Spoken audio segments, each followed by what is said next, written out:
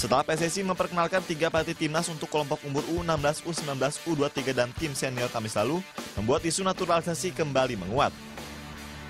Setelah banyak nama beredar di media sosial, PSSI dan Kemenpora pastikan saat ini hanya sedang memproses satu nama untuk dijadikan warga negara Indonesia yaitu Ezra Walian.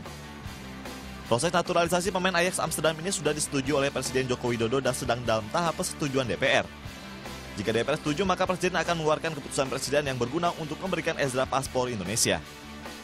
Pemerintah melalui Kemenpora menyatakan siap membantu jika PSSI menemukan talenta muda berbakat dengan kemampuan sepak bola di atas pemain Indonesia lainnya untuk dinaturalisasi.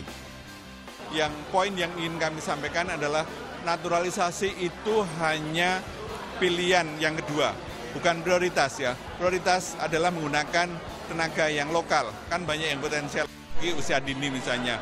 Tetapi ya gampangnya gini mas, kalau ada di sekitar kita ada yang potensial, umur masih muda dan mereka mau menggunakan merah putih, why not? Kenapa enggak untuk dinaturalisasi gitu. Selain Ezra, ada empat pemain potensial secara kemampuan untuk dinaturalisasi oleh Indonesia. Salah satunya kiper muda Juventus Emilio Audrio Mulyadi. Namun keinginan tersebut sulit terrealisasi karena Emilio diproyeksikan turun bersama Italia di Olimpiade 2020. Selain nama di atas Jordi Tutuarima back SC Telstar mantan klub Stefano Lillipali terang-terangan ingin membela timnas Indonesia. Keinginan tersebut diutarakan di akun media sosial miliknya. Luis Milla sebagai pelatih kepala timnas saat ini mengaku akan terbuka kepada pemain naturalisasi. Namun ia tidak akan menganak emaskan seseorang untuk masuk tim nasional Indonesia.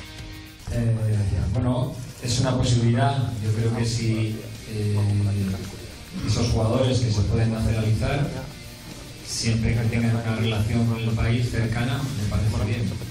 Entiendo que también el futbolista tiene que tener eh, un grado importante de pertenencia a, a la posibilidad de jugar en el país. Salah satu contoh terakhir naturalisasi sukses tersemat pada diri Stefano Lillipali. Pada Piala AFF 2016 lalu dirinya sukses menjadi motor serangan timnas Indonesia. Serta aksinya yang diingat ketika mencetak gol penutup kelolosan Indonesia ke semifinal melawan Singapura.